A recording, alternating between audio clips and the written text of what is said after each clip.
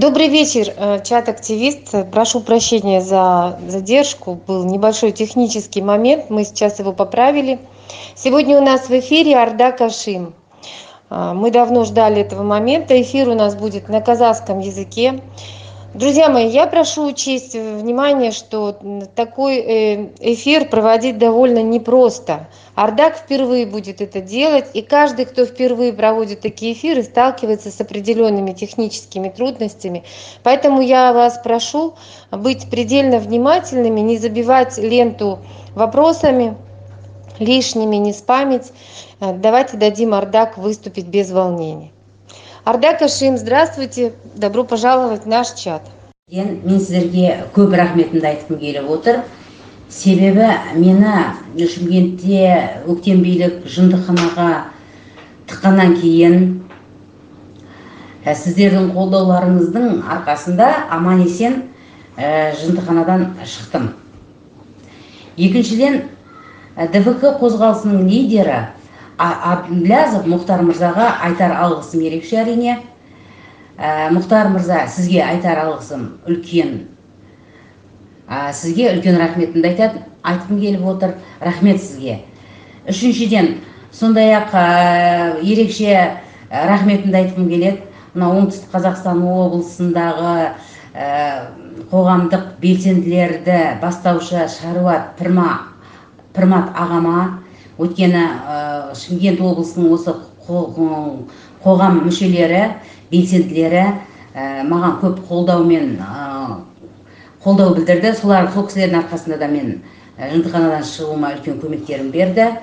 Үшіншіден барлық достарыма фейсбукте отырған барлық достарыма тілектес болған адамдарға үлкен рахметімді айтамын сондай ақ құқық қорғаушылар бақытжан төреғожина ханымға евгений ровчис мырзаға людмила козловскаяның командасына үлкен рахметімді айтамын әсіресе қарлығаш әблязова ханымға айтар алғысым ерекше. Рахмет сіздерге.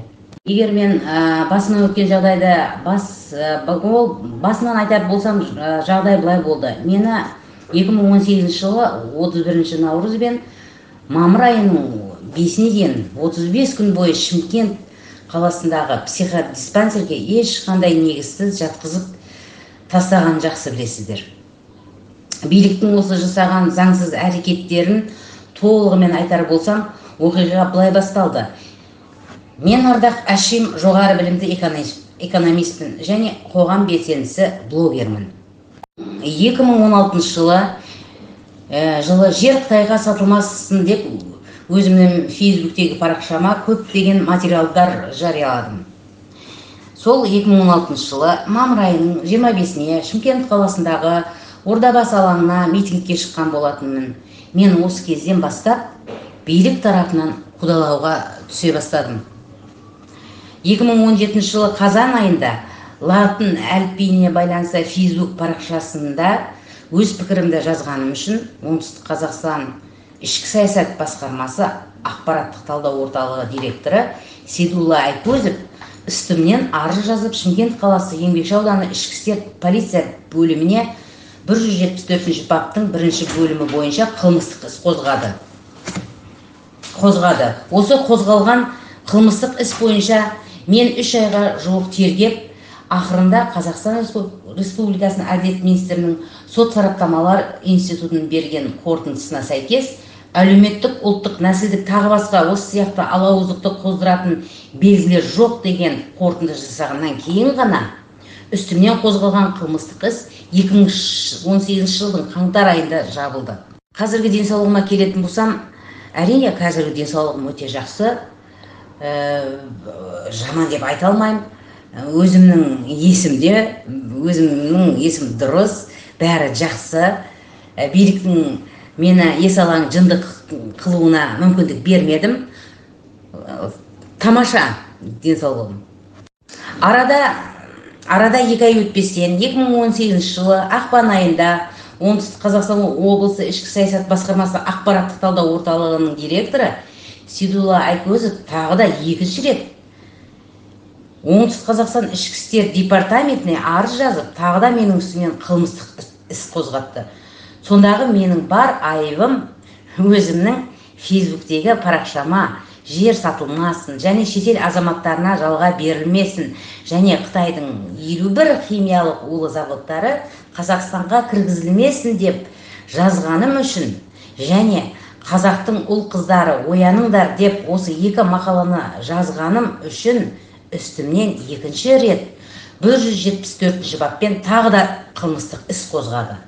Осы қозғалған қылмыстық іс бойынша оңтүстік қазақстан облыстық ішкі істер департаментінің тергеушісі полиция майоры бақытжан сыдықов екінші наурыз күні ешқандай да тергеуге шақырту қағазын берместен тек телефон арқылы звондап тергеуге шақырды осындай шақырту тергеулер 15 наурызға дейін бірнеше мәрте рет қайталанды. Ал енді 15 наурыз күні азанғы сағат тоғызда тергеуші бақытжан сыдықов бастаған 15 шақты полициялармен беттеріне қарамасқа киген үстілеріне бронежилет қолдарында автоматтармен суық қаруланған амандар үйге баса көктеп кіріп келді. Тергеуші сыдықов үйлерінде қару жарақ және жарылғыш зат наркотик экстремистік кітаптар мен парақшалар бар ма? Осыларды тексеруге келдік деді.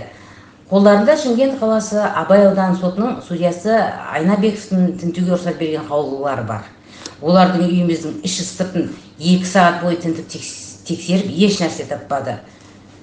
Түк таппағаннан кейін олар компьютер мен ноутбукты және барлығымыздың қолымыздағы теле, смартфон телефондарымызды тәркілеп алып кетті.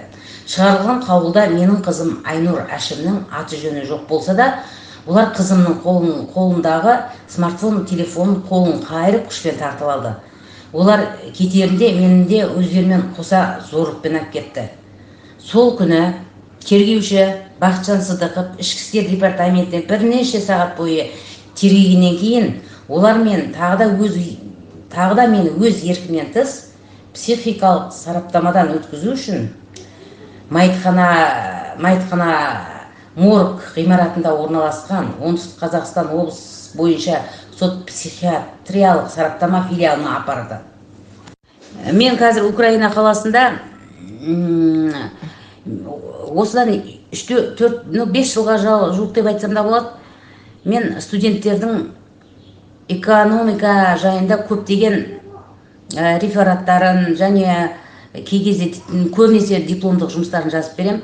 Мен қазірге екі үш студенттің сол нелерін жазып жатырмын әзірге күнкөріс көзім осы.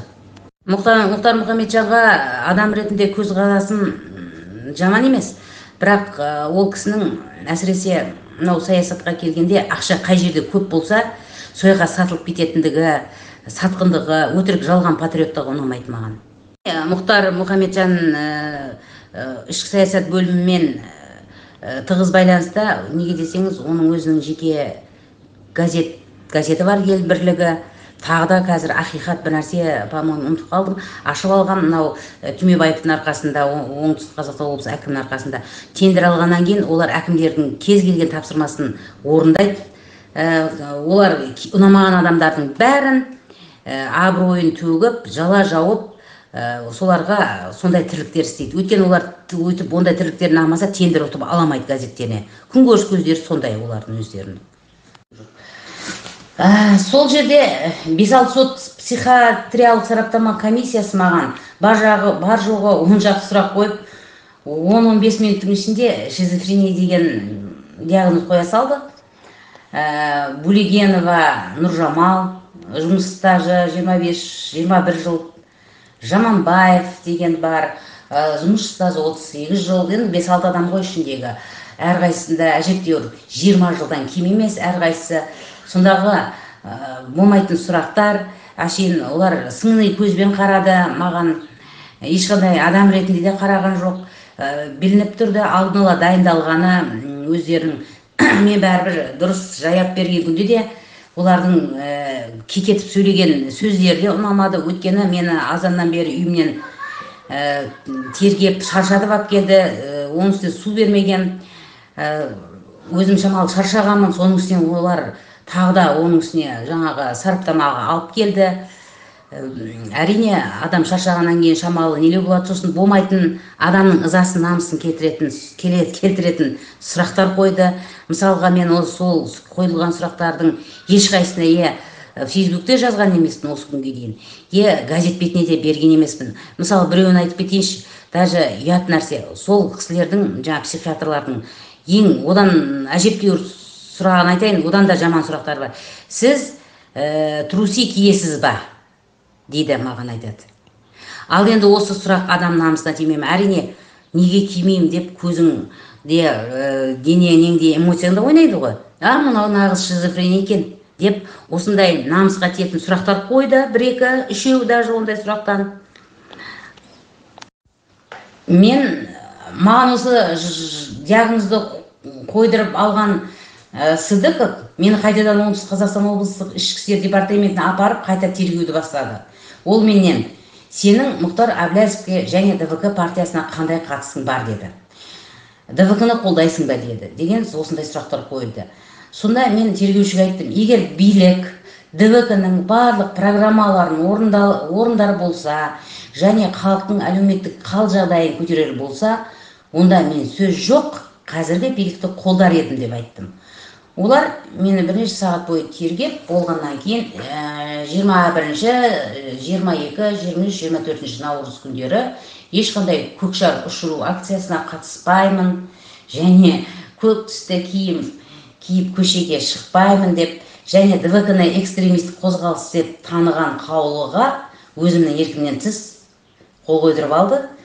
Әрине тергеуші бақытжан сыдықов мені тек кешкі сағат 19 сағат жетілерден кейін ғана үйіме жіберді.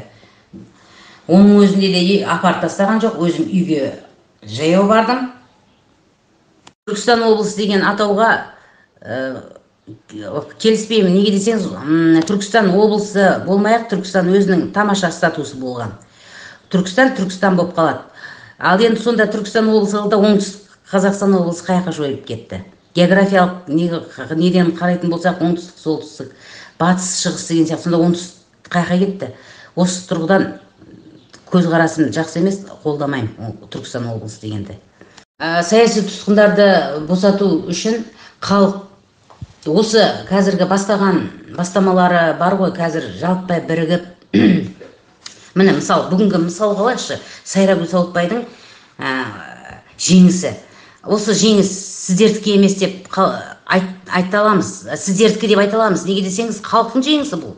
Бұл ешқандай биліктің де жеңісі емес немесе ә, мынау жоғарыда отырған депутаттардың да жеңісі емес ә, немесе ә, зиялы қауымның да жеңісі емес. Мына сіздер мен біздердің халықтың қарапайым халықтың жеңісі. Өстіп бірігіп егер әрқашанда бірігіп жұмыс істейтін болсақ алынбайтын қамал болмайды. Осылай біз ары қарай жұмыс істеуіміз керек. Мысалға ертең көптеген саяси тұтқындардың соты болайын деп жатыр да. А егер осы сайрагүл сауытбайға қалай мысалы көп жиналды адамдар осылай сол саяси тұтқындарға баратын болсақ біз оларды да босатып аламыз. Біз талап қоя білуіміз керек. Талап қойғанда да ә, солқылдақ талап емес өте қатаң талап қоя білуіміз керек. Біз қатаң талап қоюымыздың арқасында біз жеңіске жетеміз. Өйткені талап қою біздің құқығымыз. Біз құқығымызды осы уақытқа дейін әлі жақсылап пайдалана алмай жүрміз. Ә, бұдан кейін ә, не, менің ойымша халыққа ә, жұмсақ болудың қажеті жоқ. Мынау билікке айт, айтқанымызды істетуіміз үшін біз барынша қатаң болуымыз керек. Ә, енді мысалы ары қарай тағы келетін болсам мысалы мені ә, жындыханаға қалай тықты бұлар отыз бірінші наурыз күні как обычно қарапайым тергеуге бардым. Шақырды өзім бір өзім бардым. Үш төрт сағат тағы да сұрады. Үш төрт сағат емес жарты сағаттай кешіріңіздер. Сөйтті да онша несі жоқ бірақ та бір жерге телефон соқты. Мен түсінген жоқпын бірақ та кабинетке төрт бес қаруланған полиция қызметкерлері кіріп келді. Қарасам жүріңіз бізбен дейді.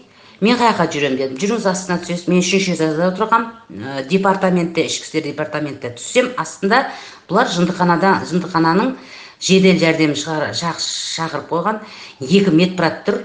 Кәдімгідей здоровый ер кісілер сөйтті да мен қай жаққа апарасыңдар деп айтылған жоқ. Еркімнен тыс жаңағы жедел жәрдемге тіпті жан жағымнан олар отырып алды. И қаруланған милициялар отырды. Артымнан ә, жаңағы полиция майоры бақытжан сыздықов бастаған мені сол психбольницаға дейін ә, жаңағы машина сопровождениемен барды. Сөйтті да ә, приемный покойға алып барды психбольницаға өткізді де жіберді. Бұны бұны мені өткізіп жіберген кезде мен е, үйіме отбасыма ата анама туысқандарыма күйеуіме қыздарым қызыма ешқайсысына хабарламаған. Бөлегенова нұр, нұржан және бақытжан сыдықов ең масқарасы ең бірінші айтып кетейінші бұлардың заңды белден басқан басқандығы соншалықты қараңыздар ең масқарасы мен әке шешем көз тірі бола тұра заңды күйеуім бола тұра және кәмелет жасына жасына, жасына толған қызым бола тұра мен танымайтын қайдағы бейтаныс тайырбекова бағира деген әйелді сыртымнан қорғаншы опекун етіп тағайындайды да сыртымнан соттың шешімін шығарады да сыртымнан соттап жібереді. Бұлар сөйтеді да жаңағы жындыханаға тығылсын деген. Міне осындай масқарашылықтары бар.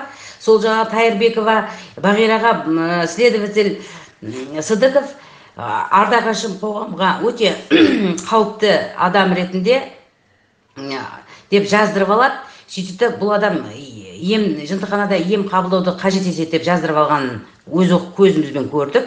Бұны міне осындай масқаралықтар бар. Маған қойған ә, диагноздары шизофрения параноид деген ә, диагноз екен. Оны интернеттен көрдім. Жаңа шизофрениктердің ең ауыр диагнозы осы екен. Параноид деген шизофрения. Ә, қазір маған мен елден кеттім ғой. Өйткені мен украина киев қаласындамын. Қазір маған ешқандай қысым жоқ бұл жақта.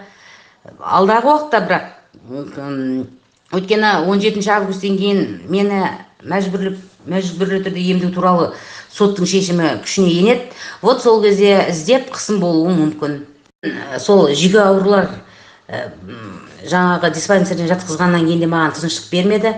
Бұлар алматыдан специалисттер шақырды жаңағы психиатрларды сосын неше түрлі журналистерді шақырды менің ә, жаңағындай келісімсіз.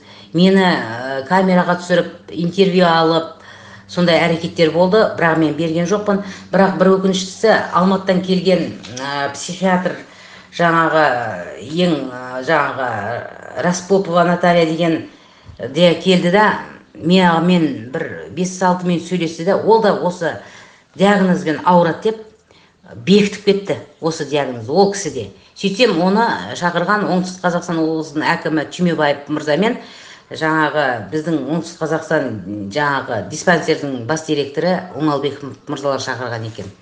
Сосын тағы бір қызықтар айтайын. Мені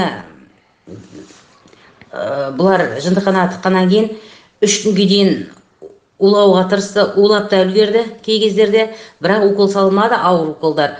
Бірақ мынау қоғамның резонансы туып сіздердің жақтап қолдағандарыңыз қоғам болмағанда жаңағы. Мен міндетті түрде ол жерден мүгедек болып шығатын едім есалаң болып. Ә, осы сіздердің арқаларыңызда сол үш күннен кейін бұлар іс әрекеттің бәрін тоқтатып тастады Ә, үш күннен кейін үш күнге дейін ешкімге де көрсетпеді. Қасымда екі медбрат міндетті түрде медсестралар. Қай жаққа барсам қа- қа- қасымда жүрді ешкіммен сөйлескізбеді. Ол 35 күнде солай да болды әрине. Сосын бір таңғалғаным бұлар кейіннен мен жиырма отыз күннен кейін енді сөйлесе бастадым бір екі медсестралармен. Бәрібір дегенмен де адамды ә, білесіздер ма бір не болады? Ә, адамның өз солидарность біріктіреді кей кезде. Солар сол кезде менің нормальный екенімді біліп сіз ауру емессіз неге бұл жерге сізді жапты? дегенде мен айттым жағдайды. Сонда олардың ол кісілер былай деп айтты маған сол жердегі адамдар сізді бізге өте қауіпті адам. Жақындамаңдар. Диагноз ә, бұлар бұл гип- гипноздап тастайды. Көзіне көзіне қара, қарамаңдар. Ол өте қауіпті экстремист террорист деп мені сыртымнан әбден бұларды зомбилап тастапты. Ең қызығы осы болды мен үшін. Мен қазір саяси босқын статусын алу үшін уже бердім. Өтініш хаттарымды арыздарымды өткіздім. Береді деп береді деген ойдамын өйткені менікі саяси қуғындау қуғындау несімен жаңа баптарында бар өздері айтты. Мүмкіндік бар деп айтты өздері. Тағы да бір қызықтарды айтып өтейін. Бұлардың мынау тергеуші бақытжан сыздықов істі тек бір жақты ғана қарады. Маған тек қылмыскер деген көзқараспен қарап үсті үстіне айып тағумен әлек болды мысалға бір екеуін айтып кететін болсам ол басында маған қылмыстық бір жүз жетпіс төртінші баппен қылмыс қозғайды да кейін бір жүз жетпіс төртінші бапты алып тастайды да үш жүз жетпіс сегізінші баптың екінші бөлігін қояды. Билікке қарсы шықты деп. Үш жүз жетпіс одан кейін оны алып тастайды да үш жүз жетпіс төртінші бапты қояды. Президентке қарсы шықты деп. Оны вообще кейіннен өздерінің арасында алып тастайды да керегі жоқ дейді да бұны да алып тастайды да ең соңында қайтадан бір жүз жетпіс төртінші бапты іледі маған. Қызықтарды көрдіңіздер ма осындай? Міне осындай да қызықтар болды. Тағы да таң, таң қалатын нәрсе мысалы мені бұлар 2005 жылдан бері жүйке ауруы шизофрениямен ауырады екен. Якобы да? Осы диагнозды қойған оңтүстік қазақстан психодиспансердің психиатры айдарова алма рахатовна және бас дәрігердің емдеу жөніндегі орынбасары грошева наталья николаевналар 2017 жылы қайтыс болып кеткен адамдар болып шықты. Диагноз қойған. Осы екі адамның қайтыс болып кеткенін оңтүстік қазақстан облысы психодиспансердің бас дәрігері оңалбеков және ұлттық қауіпсіздік комитеті комитетінің қызметкерлері мен тергеуші бақытжан сыздықовтар сәтті пайдаланып диагнозды осы психат қайтыс болып кеткен психиатрлар жазған деп әдейі жалған құжат жасаған ғой. Ал енді осы жасаған құжаттары көзге ұрып тұр. Жаңағы өткен шрифттері әртүрлі бізге экспертизаға бермеді. Неге десеңіздер жалмауызға да жан керек дейді. Өйткені біз экспертизаға берсек оның жалған екені бірден бірден шығады. Сосын ең қызығы осы қойылған жалған диагноздың парақшасы выпискалары мынау қылмыстық іске тіркелген жоқ. Сондай ақ біз ешқандай жүйке ауруларымен ауырады деген ешқандай стационарлық карточкаларды көргеніміз жоқ көзімізбен и және қылмыстық іске тіркелген жоқ. Бірақ ауызбен айту ғана болды. Жынды жынды ардақ әшем жынды ауырады ауырады ауырады деп тотықұстар сияқты қайталай берді. Көп қоғамға осылай айтылды. Сосын тағы да бір нәрсені қоса кеткім келіп отыр.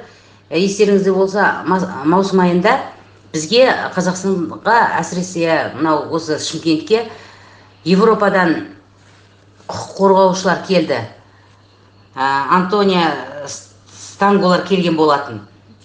Сол кезде оңтүстік қазақстан облысының орынбасары сәдибеков лесбек мырза өзінің кабинетіне шақырып алады сол кісілерді.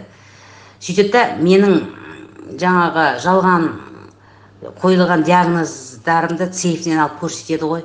Якобы карточкалерді көрсетеді сол жерде. Мынау міне ардақ әшімге қатысты деп олар сұрамаса да өздері өзі соның бәрін көрсетеді. Сонда ол кісілердің реакциясы әкімнің орынбасарына дейді сенің дейді карточкаң жаңағы қойылғы диагноз қойылған нелерің не қатысы бар? Ол ол ол егер прокуратурада жатса түсінеміз деді. Егер ол оны бізге жындыхананың жаңағы бас дәрігері көрсетсе түсінеміз. Ол құжаттар неге әкімнің орынбасарына жүр бұл жерде демек олардың ойы солай болып кетті. Жаңа саяси жаңа мотив бар деген ойда кетті ол кісілер. Сөйтіп таң қалған күйі кетті. Демек мынау оңтүстік қазақстан облысының орынбасары садибеков мырза лесбек мырза. Өзінің креслосын жаңағы өзінің несін өзінің жеке басына пайдаланды дейміз ба? Солай деп айтуға болады. Өйткені оған, оған менің ауру туралы нем қандай қатысы бар? Міне осыған біз әлі жауапты бере, бере алмай келе жатырмыз. Тағы да бір қызығы именно сол ішкі саясат оңтүстік қазақстан ішкі саясат бөлімінің командасы мысалы айкозовтер кіреді ішіне жаңағы сидулла солардың командасына кіретіндер өте көп жаңа журналистер блогерлер жалдамалы.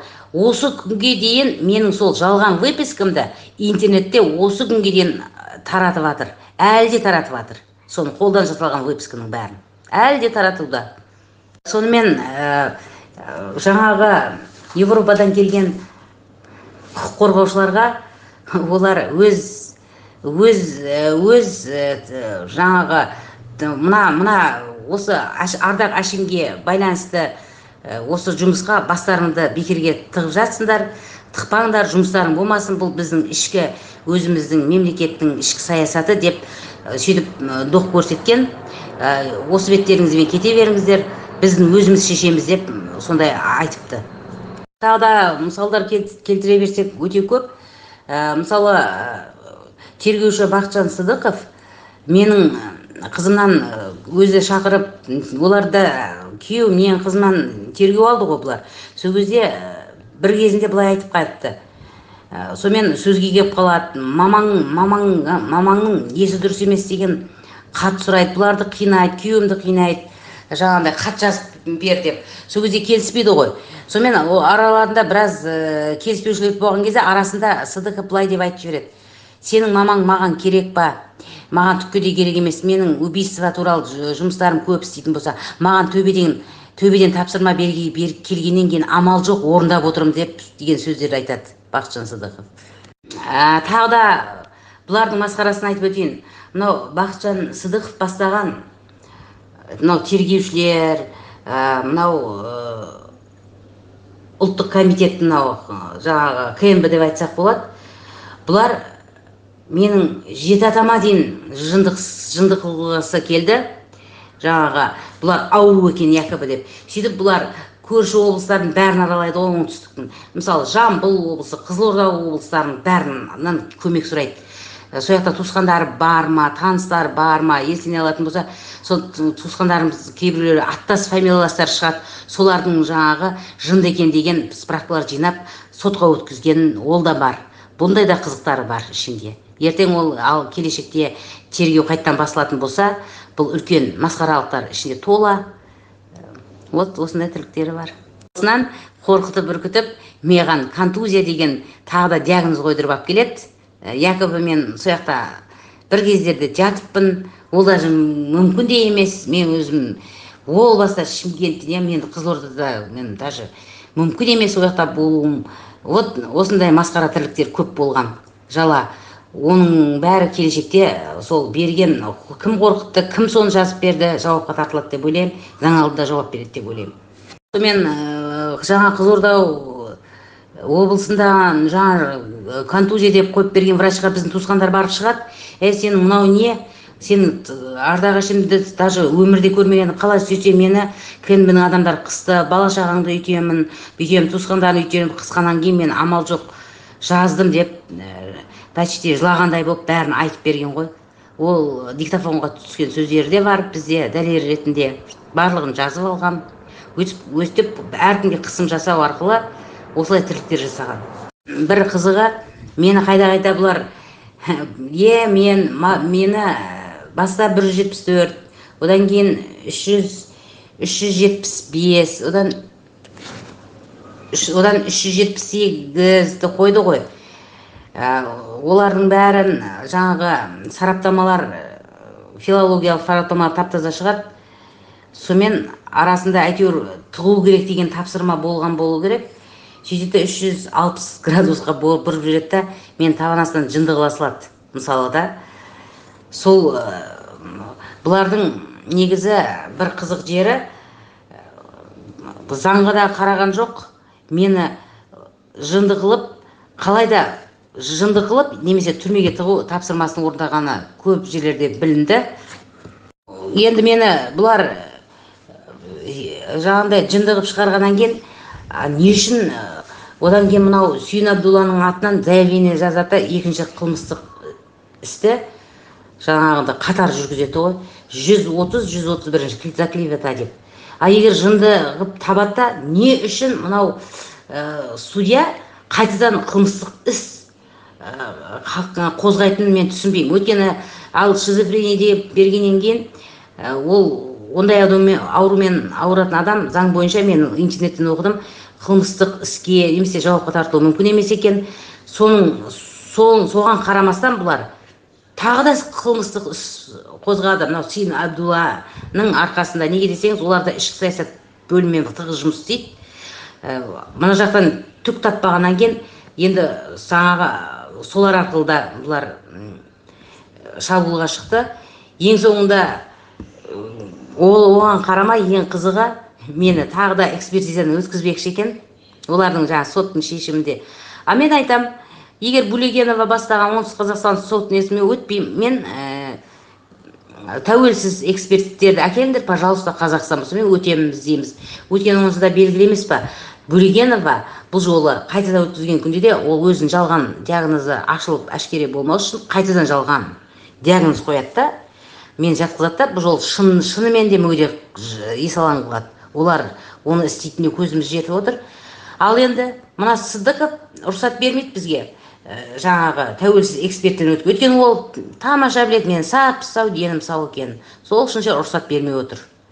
Тағы да бір қызығы жаңа сүйін абдулла берген арыз бойынша үстімнен жүз отыз жүз отыз бірінші бап бойынша қылмыстық іс ашты ғой. Сондағы мені айыптайтын сөзі мафия деген сөзге бола менің үстімнен мафия деп айттың деп жаңа мен неге неге десеңіз мафия деп айттың, айттың деген сөзге бола мені қылмыстық іске тартып отыр. Бұл күлкілі емес па соған екі жыл сұрап отыр прокуратурадан ал енді өте осы жерді қарап отырсаңыз мафия деген сөзге бола адамды соттау өте күлкілі.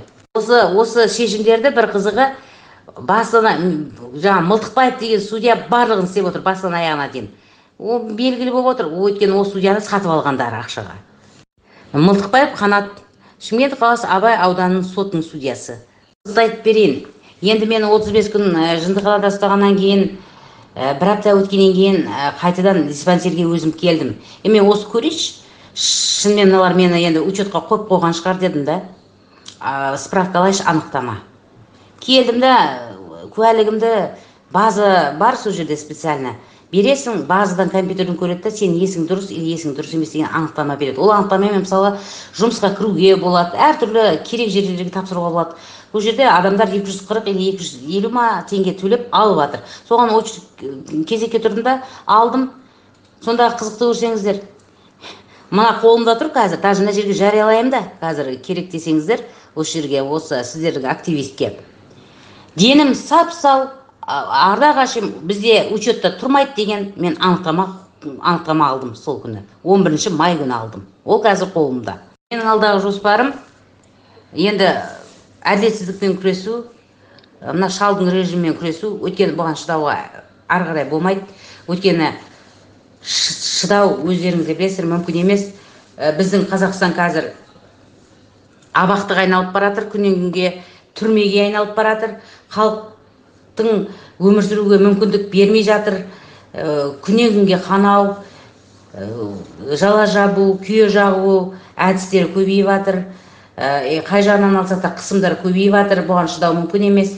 Кеше ғана осыдан бір, бір айдың ішінде ә, жаңағы билерді қазақстанға енгіземіз деп жатыр осындай осындай сұмдық ә, мысалы біз көріп отыра берсек түбі мынау шал өзінің хан хан қылмақшы ә, хан болғаннан кейін біз бәріміз құл боламыз. Ол баяғы ескі заманда феодализмге кетеді. Бізге осы керек па? Сол үшін мен өзімнің күресімді тоқтатпаймын.